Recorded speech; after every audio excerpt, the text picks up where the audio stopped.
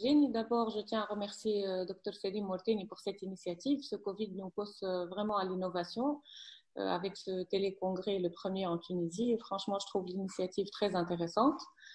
donc, moi, je vais vous parler un peu de la gestion des dispositifs médicaux au niveau de, de la centrale. D'abord, je vais rappeler donc les différentes commissions qui travaillent sur le Covid. Donc, il y a la commission nationale, mais également il y a des sous-commissions qui travaillent notamment sur les laboratoires. Euh, il y a une commission qui travaille sur les structures sanitaires publiques. Il y a une commission qui travaille sur tout ce qui est structures extra-hospitalières et le confinement des personnes revenant de l'étranger, mais également le confinement, le cohorting du personnel de la santé. Il y a aussi la gestion des dons euh, qui est coordonnée au niveau du ministère par Dr Mufter. Et, donc, euh, ces différentes et il y a une commission aussi qui travaille sur la première ligne. Et puis, il y a une commission qui travaille sur la logistique, donc euh, tout ce qui est approvisionnement euh, et logistique des différents articles en relation avec le Covid. Donc là, moi, justement, je fais partie de cette commission de, logistique. Donc, je vais vous parler surtout de la gestion au niveau de la centrale des EPI, tout ce qui est équipement de protection individuelle, mais euh, cette, cette, même commission va aussi euh, collaborer avec la commission laboratoire et donc tout ce qui est réactif de laboratoire et tests rapides. Donc, euh, en ce qui concerne les EPI, donc on, on, se rend compte de plus en plus de l'import des articles. Donc, j'ai vu qu'il y a eu une présentation sur les indications des différents équipements pour, pour le Covid. Donc, comment ça se passe au niveau du ministère? C'est que pour la gestion au niveau de la centrale, on a essayé de prévoir euh, les, quantités nécessaires pour les différentes structures, sachant qu'au départ, on a tout de suite vu que la capacité de production locale ne permettait pas de subvenir aux, besoins euh, qui croissants, on va dire, en, équipement de protection individuelle. Donc, il y a eu une consultation internationale pour un approvisionnement, une quantité importante de pays.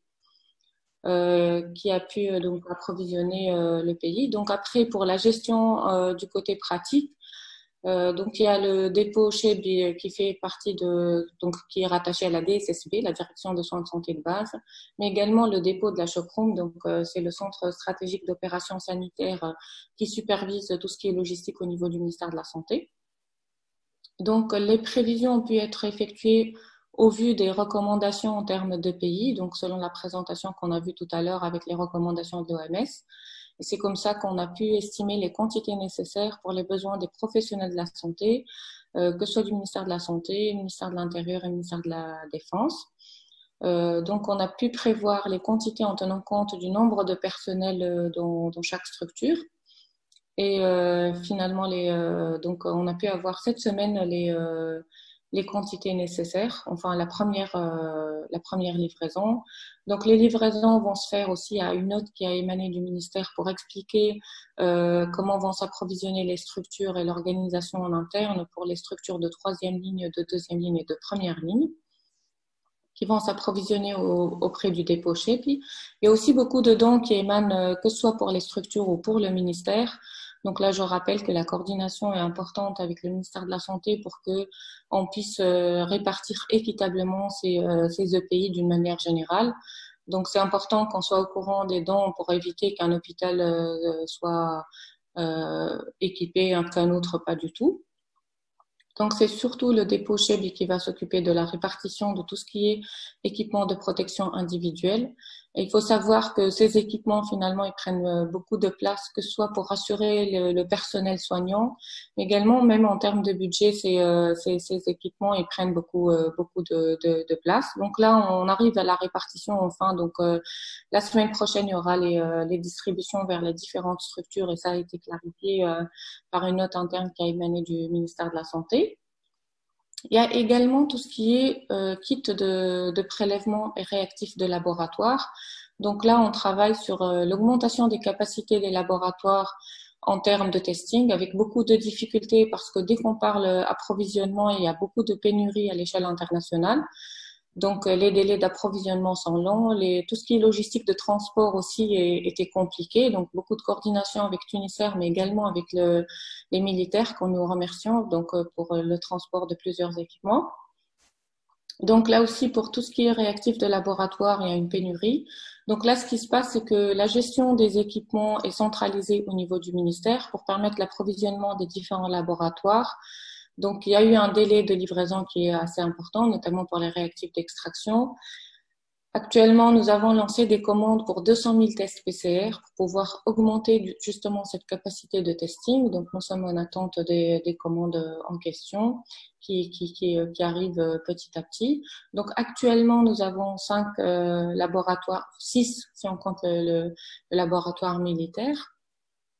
Et on vise à arriver à au moins 10 laboratoires. Donc, on veut augmenter à la fois la capacité des différents laboratoires qui sont fonctionnels actuellement, à savoir euh, donc euh, l'hôpital de référence Charles-Nicole, euh, l'Institut Pasteur, Mestir, donc avec Fatouma Bourguiba, Farhat Rachid Sous et Sfax qui est fonctionnel également.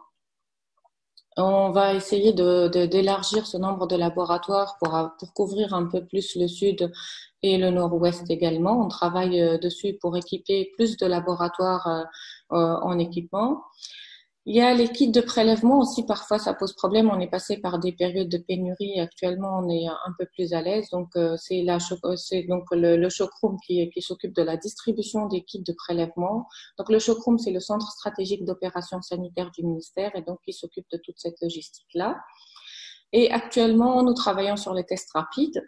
Euh, donc euh, là aussi, on, on essaie d'augmenter de, de, les quantités. Il y a une commande de 400 000 tests rapides, donc euh, 200 000 de tests à l'anticorps et 200 000 de tests à l'antigène. Et là, on vise euh, de commander 2 millions de tests, donc 1 million de tests à l'antigène et 1 million de tests à l'anticorps. Là aussi, il y a une consultation internationale qui a été lancée par la pharmacie centrale. Donc, il faut savoir que tous ces articles, euh, c'est la pharmacie centrale qui fait beaucoup d'efforts pour l'approvisionnement et qui lance les, les consultations.